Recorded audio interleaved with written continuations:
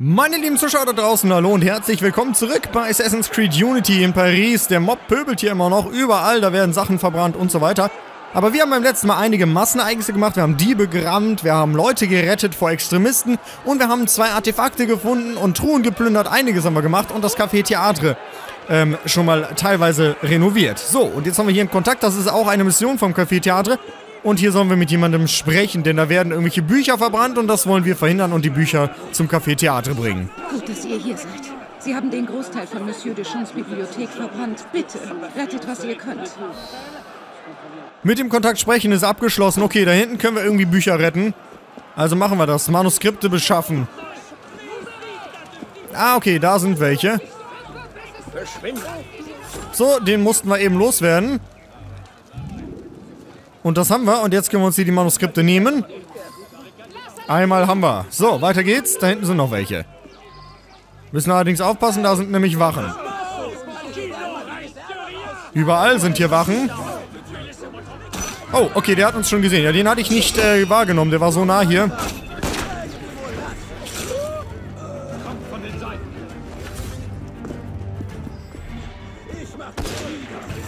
Zack, den haben wir mal.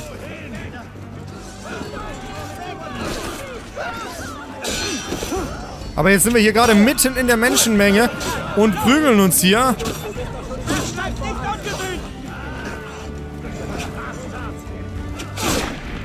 Vor allem, ich bin jetzt zweimal ausgewichen, weil der Typ schießen wollte. Und dann hat er halt noch ein drittes Mal geschossen. Beziehungsweise hat er dann erst beim dritten Mal geschossen. So, aber ich glaube, wir haben alle getötet. Oh, da hinten ist kurz ein Massenereignis. Ganz kurz. Einmal hin. Das kurz machen. Das geht ja schnell nebenbei. Ein paar Extremisten töten hat noch nie geschadet. Wunderbar. Seht ihr, so schnell geht das nebenbei mal eben, ja? Während der Mission kann man das mal schnell machen. So, und jetzt können wir uns da die nächsten, das nächste Manuskript oder die nächsten Manuskriptseiten beschaffen hier. Oh, haben wir noch zwei Kirschbomben bekommen. Auch nicht schlecht. So, zwei von drei. Haben die noch irgendwas Sinnvolles dabei? So ein bisschen Medizin könnte ich gebrauchen. Knoblauch hatte der dabei. Ja, das nehme ich auch gerne. Knoblauch ist lecker. So, Medizin war auch dabei. Warum nicht ein bisschen plündern? Ja, die verbrennen hier überall Bücher. Das ist natürlich nicht gut. Das ist ein Verbrechen, das gibt's oft, ja. Wurde oft schon in der Geschichte gemacht, Bücher verbrannt. So, die Manuskripte haben wir alle. Sollen wir nur noch das Gebiet verlassen oder hier aus dem Gebiet fliehen? Ich habe nur gerade gesehen, da oben ist eine Kiste. Da fliege ich doch in die Richtung, wo die Kiste ist. Ja, und die Bücher werden dann wahrscheinlich ins Café Theatre gebracht und machen das Ganze wieder ein bisschen schöner. Insofern hat es sogar einen guten Zweck, dass wir die gerettet haben. Steht mitten auf dem Dach eine Kiste. Auch nicht schlecht. Nehmen wir die doch mal mit. Die steht hier so einsam rum. So verloren, die arme Kiste, wir kümmern uns um dich. Komm her. Sind schön, die Kisten. Die haben die echt verschönert. Ich weiß noch, bei Assassin's Creed 2 zum Beispiel sind die ja wirklich einfach nur so kleine Holzkistchen. Aber hier sind die wirklich richtig schön gemacht. So, und damit haben wir die Mission fürs Café Theatre erledigt. Mehr Renovierungen und so. Und dann genau, jetzt haben wir hier also eine Renovierung bekommen, nämlich die Bücherregale und ein bisschen Geld. Hat sich also gelohnt. Ja, das werde ich jetzt auch weitermachen. Wir werden erst einmal das... Oh, da ist unten schon wieder ein Ereignis.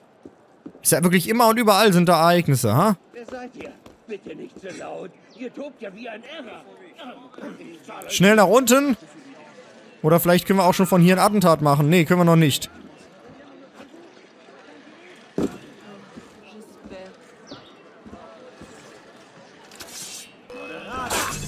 Zack. Den haben wir. Und was ist mit dem hier? Auch. Schön. 6 von 10. Also das geht so schnell. Genial.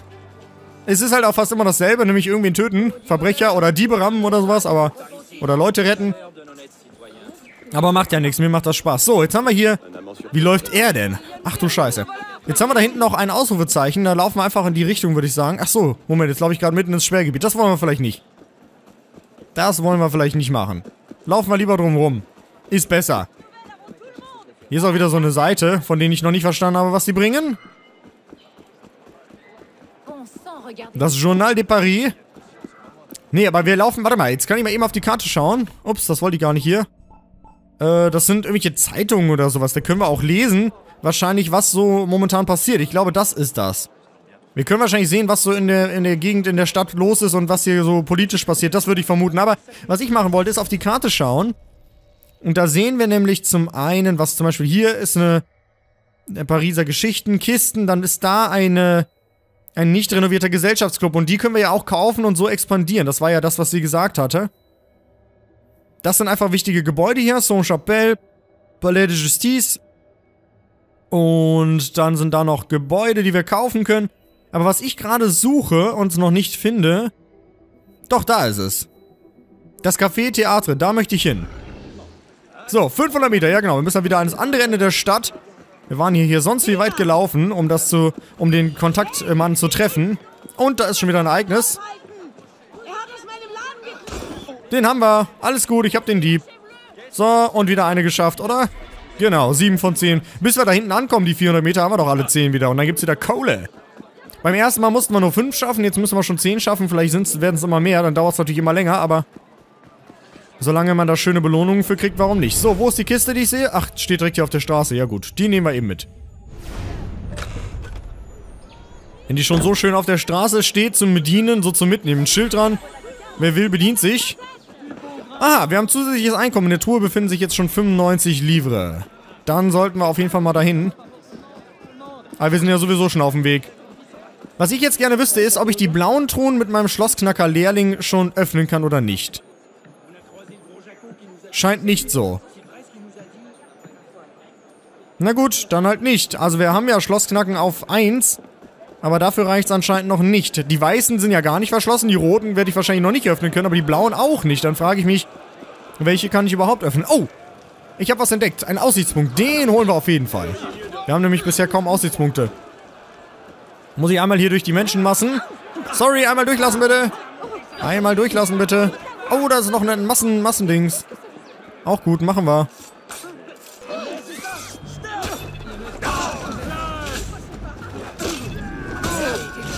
So, wollt ihr gegen mich kämpfen oder wollt ihr mit mir kämpfen? Ne, ihr wollt mit mir kämpfen. Ganz gut. 8 von 10. Ich sag ja, bis wir da hinten ankommen, haben wir es voll. So, hier ist irgendwie eine Treppe oder sowas. Können wir hier nach oben oder nach unten oder was? Können hier nach unten. Ich will aber nicht nach unten, ich will ja nach oben auf den Aussichtspunkt. Also das ist irgendwie ein Eingang in die Unterwelt. Aber wir wollen ja hier auf den Turm. Also müssen wir hoch. Einmal an der Kirche hochklettern. Aber wobei, jetzt hänge ich hier natürlich in der Tür fest und komme nicht weiter. Müssen wir mal ein bisschen an die Seite vielleicht. Hier sollten wir hochkommen, oder? Das sieht schon besser aus. Meine Güte, das ist aber ganz schön hoch, das Ding.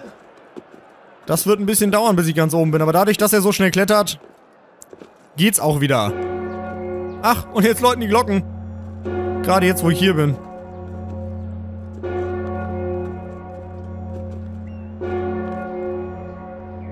So, hier komme ich nicht weiter, also versuchen wir es mal da über das Holzgerüst.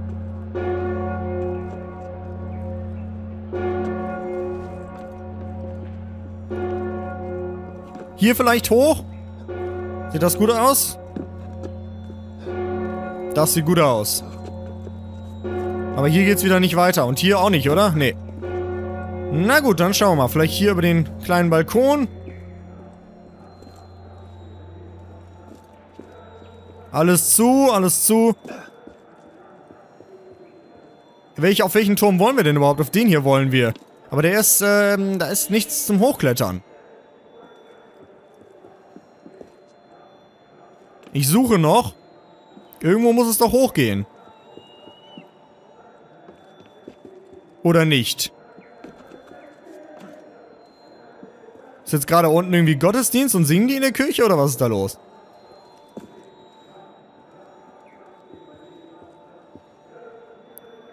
Da oben ist der doch. Wie komme ich denn da hoch?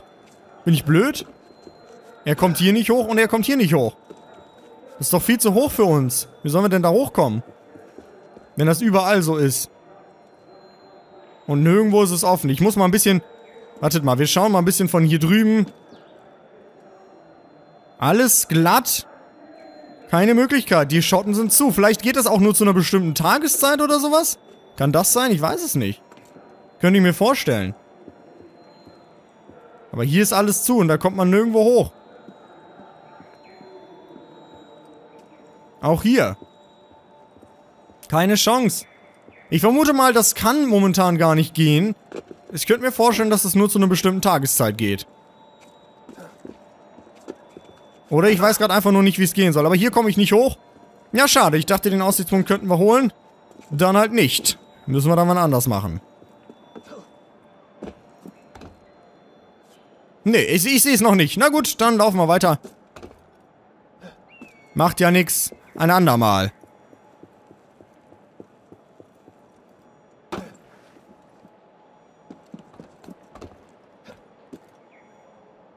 Ja, oder vom anderen Turm. Jetzt, wo ich es gerade so sehe, lass das mal versuchen. Eine Chance gebe ich ihm noch. Vielleicht von dem anderen Turm rüber. Die Theorie mit dem, vielleicht ist es nur einmal am Tag offen oder so, das äh, wäre zwar auch, wenn ich richtig interessant. Wäre nämlich was Neues. Aber ich könnte mir vorstellen, vielleicht kommen wir hier irgendwie hoch. Ja, ja. Und dann von dem Turm muss man wahrscheinlich auf den anderen springen. Also richtig raffiniert gemacht. Aber das ist ja super. Wenn das jetzt klappt, dann bin ich erfreut. Dann, äh, dann finde ich das richtig gut. Pass auf, wenn wir jetzt hier rüberkommen, über den Mast, Bestimmt.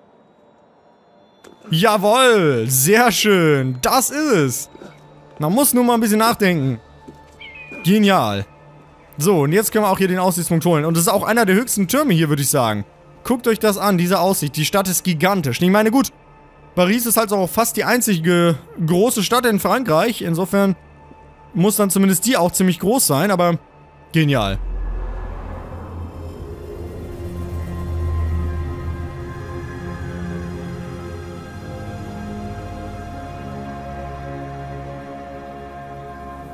Was eine geile Kirche.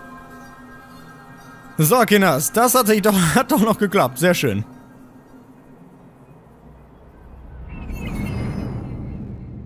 Und dann haben wir auch hier eine neue Schnellreise. Und jetzt können wir den gigantischen Jump machen hier. Pass auf. Woo! Yeah! So. Sehr gut. Das hat Spaß gemacht. Hat sich gelohnt. Der kleine Ausflug an die Spitze. Jetzt haben wir nämlich hier auch einen besseren Überblick über die ganze Region. Wie viele Sync-Punkte haben wir eigentlich? Drei. Okay, dann warte ich noch ein bisschen. Ich will mal vier oder so haben. Dann kriegen wir nämlich Doppelattentate. Die wollte ich auf jeden Fall mal freischalten. Die sind mir nämlich wichtig. Doppelattentate möchte ich machen können.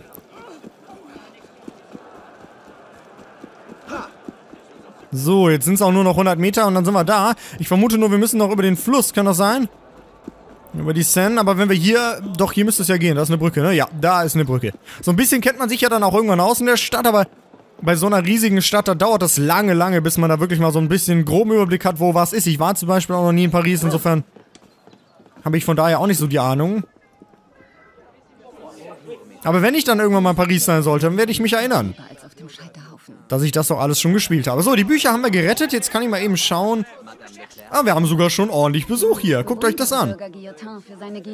Dadurch, dass wir ein bisschen renoviert haben, ist hier schon einiges los. Besucher an jeder Ecke.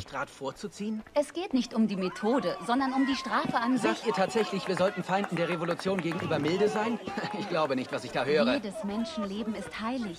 Wenn wir die abschlachten, die gegen uns sind, worin unterscheiden wir uns dann noch von Tyrannen? So, mal eben hier die Truhe plündern. 95, achso doch, es hat sich schon erhöht. 380 ist jetzt das Maximum. Und 95 haben wir hier verfügbar.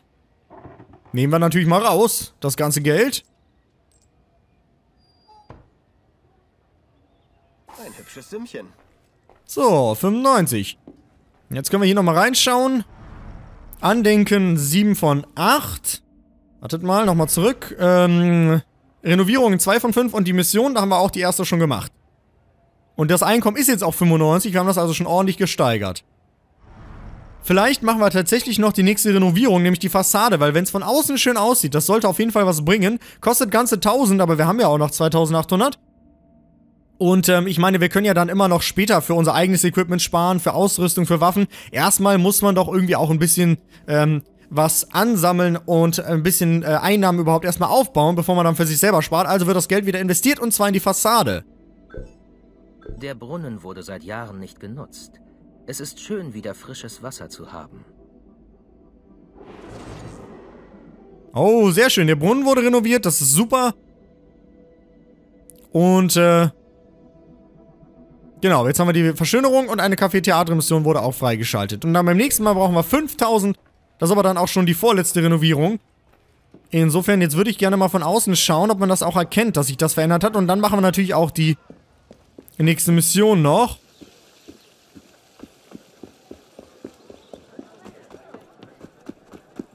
Ja, ich weiß es nicht. Ich habe es jetzt mir nicht vorher angeguckt. Aber es sieht schön aus auf jeden Fall. Und ich würde sagen, wir nehmen bei ihr noch direkt die nächste Mission an. Ne? Dann haben wir das... Sehr schwierige Mission. Kaufen Sie Fähigkeiten und Ausdrückungen, um Ihre Level zu erhöhen. Muss ich denn das Level 2 haben oder kann ich die 2-Sterne-Mission auch mit einem Diamanten machen? Das ist halt die Frage. Ein Assassinenkontakt hat berichtet, dass die Informantin Colette womöglich enttarnt wurde. Arno muss herausfinden, ob das der Fall ist. Falls sie tatsächlich in Gefahr ist, muss er sie in Sicherheit bringen. Und dafür kriegen wir eine neue Terrasse. Wir versuchen es mal. Vielleicht dürfen wir das ja schon machen. Informanten könnte aufgeflogen sein. Sie gibt sich als Küchenmagd an der Porte Saint-Denis aus. Verfolgt die Gastwirte, findet heraus, ob sie sie verdächtigen und holt sie raus, falls sie in Gefahr ist. So, neues Ziel, den Wirt finden. Das ist eine schwierige Mission, hat er mir gesagt. Und ich soll meine Fähigkeiten erst verbessern. Aber ich würde sagen, wir machen das einfach so. Wir versuchen es mal. Nur jetzt sehe ich gerade, das ist fast ein Kilometer weg. Und das ist ziemlich weit. Haben wir irgendwo eine Schnellreise, die uns das verkürzt? Wir sind nämlich da. Und wir können zumindest hierhin reisen. Wenn wir da die Schnellreise hätten, wäre natürlich besser. Haben wir aber noch nicht. Insofern bleibt uns nichts anderes übrig, als hierhin zu reisen. Das ist das nächstgelegene. Dann haben wir uns zumindest ein bisschen was gespart, weil so müssten wir einen ganzen Kilometer laufen. Wenn wir da jetzt hinkommen, vielleicht ist das ein bisschen weniger. Wir schauen gleich mal. Weil es ist wirklich lang. Wir mussten ja eben 400, 500 Meter laufen. Das hat schon lange gedauert und jetzt fast einen Kilometer. Das sind wirklich große Abstände hier. Relativ ähm, 1 zu 1 umgesetzt, habe ich das Gefühl. Insofern ist die Schnellreise schon eine gute Option. Nein, wir machen diese Café-Theater-Missionen Spaß. Ob es jetzt Hauptmission ist oder nicht, ist ja egal. Ach so, wir werden tatsächlich hier oben rausgelassen. So, wie weit ist es jetzt noch? Noch ein Kilometer? Nee, okay, 200 Meter haben wir uns gespart. Dafür habe ich jetzt das Problem, dass ich hier oben auf dem Kirchturm stehe. Aber wir können ja hier runter. Und jetzt einfach weiter. Ja, ein bisschen was haben wir gespart. Immerhin. Komm. So, 650 Meter noch. Die müssen wir jetzt halt irgendwie zurücklegen. Und dann können wir nämlich aber, wenn wir auch, wenn wir, in, wenn wir da in dem Gebiet sind, wo die äh, Kontaktperson ist, beziehungsweise wo die Informantin ist, die vielleicht entdeckt wurde. Wenn wir da in dem Gebiet sind, dann holen wir da den Aussichtspunkt direkt mal, wenn wir da sowieso sind.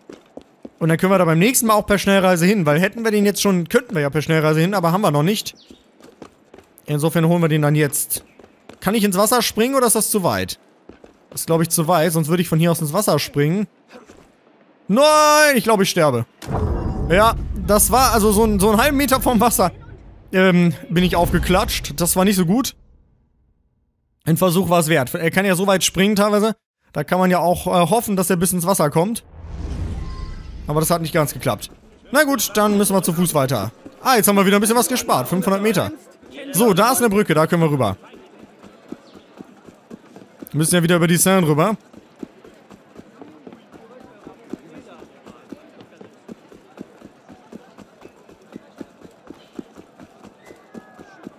Und da sind auch überall diese Symbole. Von so Wimpeln oder sowas. Mal eben schauen. Ist das da oben oder wo? Was kann das? Was bringt das? Ach, da drin. Irgend so eine... Was ist das? Eine Kokarde. Eine von zwölf in diesem Bezirk gefunden. Okay, ist wahrscheinlich sowas wie die Federn bei Assassin's Creed 2 oder was auch immer. Also man kann ja immer irgendwas sammeln. Ein Verbrecher! Den habe ich. 9 von 10. Noch eins, dann haben wir's. Schaffen wir auf jeden Fall jetzt unterwegs. Ich denke, in ein paar Metern sollte uns wieder das nächste angeboten werden. Sehe ich gerade, hier ist wieder irgendwas? Eine Seite oder sowas? Mal eben schauen. Wir gehen mal eben nach oben. Man hat aber auch immer und überall irgendwelche Möglichkeiten, Sachen zu sammeln, Sachen zu entdecken. Ne? Man kommt gar nicht dazu, von A, zu, von A nach B zu laufen, weil man immer wieder abgelenkt wird. Nostradamus-Rätsel. Widder. Schwierigkeit 3. Sehr schwierige Mission. Okay, das sind nochmal extra Missionen. Schon wieder extra Missionen. Irgendwas mit der Nostradamus-Scheibe. Also es wird immer abgefahren hier. Aber die machen wir dann auch irgendwann anders mal. Aber gut zu wissen.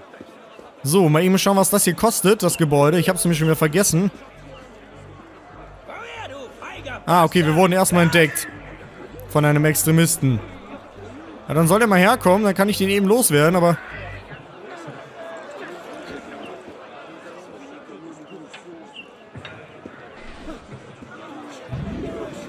Café de Ventre de Paris. Wollen Sie dieses Café renovieren? Kostet 1000. Und dafür kriegen wir dann auch mehr Einkommen im Café Theatre. Genau, wir können ja expandieren. Das war ja das, was Monsieur Madame Gouzet oder wie sie heißt gesagt hat. Ja, dann machen wir das mal. Dann expandieren wir jetzt schon. Und kaufen hier das nächste Café. Dann sind wir nämlich schon zweifacher Kaffeebesitzer. Ja, ist doch schön. Finde ich gut. Und so bauen wir nebenbei uns ein kleines Imperium auf. Dieser Gesellschaftsclub gehört jetzt uns. Und die singen hier. Okay, schön. Ist doch gut. Da sind auch drei neue Aufträge und so. Also, das werden wir auf jeden Fall machen. Unser kleines Café-Imperium aufbauen. So, die müssen wir loswerden.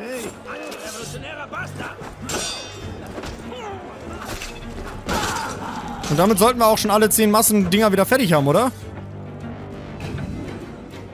Und da ein bisschen Geld für kriegen. Vielleicht kriegen wir das wieder rein, was wir gerade fürs Café ausgegeben haben. 10 von 10. Satz, äh, sie halten ein maßgeschneiderter Lauerer Umhang. Ach so, wir kriegen jetzt ein Item als Belohnung. Ja, da muss ich dann demnächst mal schauen, was das kann.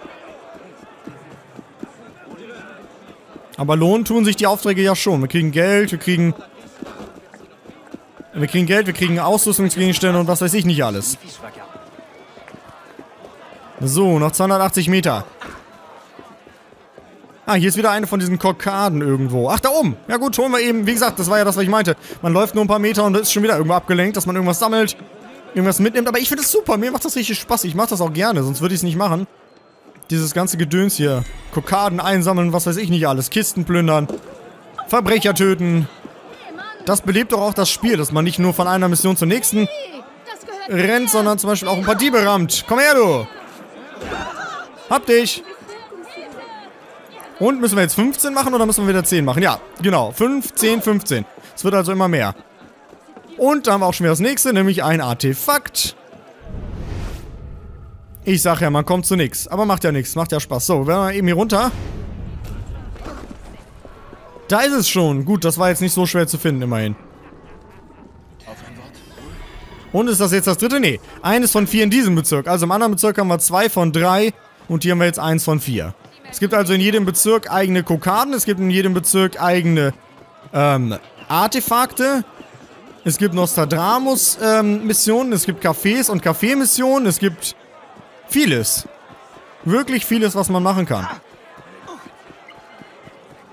Da ist wieder so eine Assassinen-Mission. Aber wir sind jetzt auch gleich bei der Informantin. Wir sollen ja den Gastwirt, beziehungsweise nicht bei der Informantin, genau, wir sollen ja den Gastwirt finden und den belauschen, ob der sozusagen die Informantin von uns auch verdächtigt oder ob die noch nicht aufgeflogen ist. Das ist das, was wir herausfinden wollen.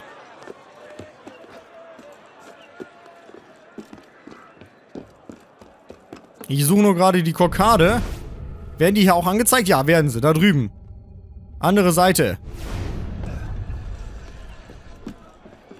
Immer mitnehmen sowas. Immer mitnehmen. Wenn man eh dran vorbeikommt, dann muss man später nicht, mal mühsam, nicht mehr mühsam hinlaufen, sondern dann hat man es schon. Wo wir gerade hier sind, nehmen wir auch noch die Kiste mit.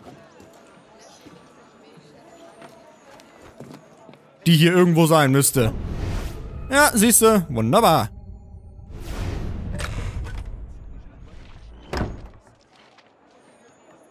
So, und da wir jetzt schon Überlänge haben, zwei von 40 Truhen in diesem Bezirk, würde ich sagen, ey, pack mich nicht an. Würde ich sagen, vielen Dank fürs Zuschauen und bis zum nächsten Mal. Ich bin raus, euer Walle aus Assassin's Creed Unity. Bis dahin, bye bye.